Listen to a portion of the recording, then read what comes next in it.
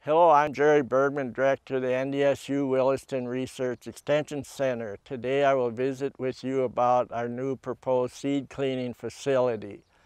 Our current old plant was built in 1956. It's a vertical uh, five floor system that's outdated and cannot clean uh, crops that need to be gently handled. So we're building a horizontal one uh, with color sorter.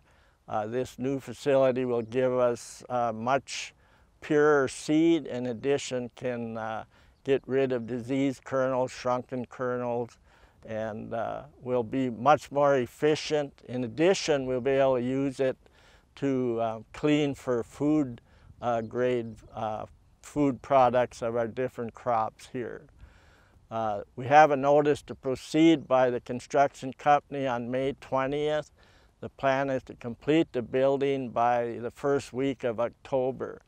Uh, we have procured all the seed cleaning facility equipment and that will be uh, put in place in October. We hope to have it installed and completed by the end of December. Uh, the old plant only cleaned 35 bushel an hour.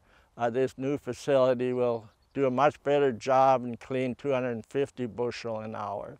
So we'll be able to furnish more varieties of crops uh, at a pure, uh, higher level of purity. So we look forward uh, to this plant to help service our growers with the best new varieties that are adapted to our region.